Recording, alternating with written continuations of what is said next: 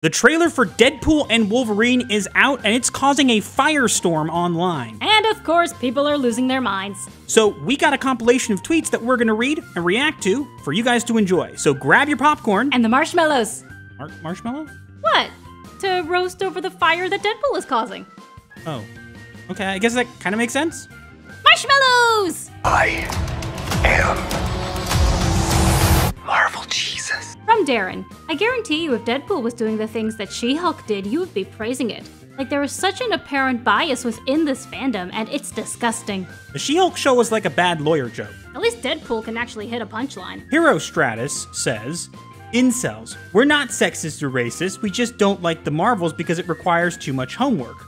Also, incels. Deadpool looks so cool. Look, there's Wolverine and TVA from Loki. Yeah, well, people actually like Deadpool. Plus, you don't have to watch two shows to even know who two of the characters are. From Ray, I still stand by everything I said during the Marvels era about how y'all will hype white male characters for doing the bare minimum, but fail to give WOC their flowers for giving amazing performances.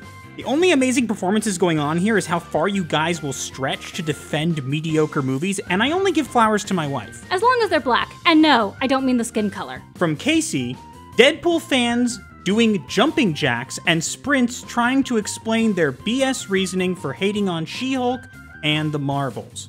At least Deadpool fans are getting some exercise. What's your excuse? From Kiko Guzman. So, are people gonna say you need to watch Deadpool 2 and both seasons of Loki to understand Deadpool 3? Or was that just some BS just to avoid the Marvels? Yes, from Travis, Deadpool 3 should have been a shot by shot remake of the Marvels, and it would be called an instant classic, hilarious, and the best thing to happen to the MCU. This guy is delusional. And I'm not giving him therapy. From Supriya, the Deadpool 3 trailer was not good for me. I didn't feel anything watching it, not like the Marvels trailer, which I watched at least 15 times. At least you're dedicated to your insanity? Can we please bring back asylums? From Happy, the Marvels literally had Beast in it, literally set up Young Avengers, Captain Marvel reignited his son, Photon stopped an incursion, Kamala Khan was the life of the movie, and it had elite comedy. Yet Deadpool reloads his gun and y'all can't keep it in your pants. Because Deadpool is actually interesting! You lost me after calling the Marvels elite comedy. From Veronique. I feel like the cat scene in a Deadpool movie would be totally accepted and even revered, but for some reason, in the Marvels, people don't accept it. Achoo! Oh, I'm sorry. I'm allergic to cats. And bad writing. From Jados McGee.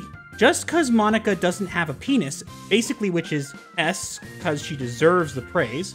And don't get me wrong, the trailer for Deadpool was cool, but I'm like, here we go for getting the Marvels because men are on screen. Translation, please? Man bad, woman good. You're still here. It's over. Go home. That is all we have for this week. Let us know what you think in the comments below, and also make sure to like, share, comment, and subscribe with notifications on so you do not miss your weekly therapy session. Or you will be charged. Gothic Therapy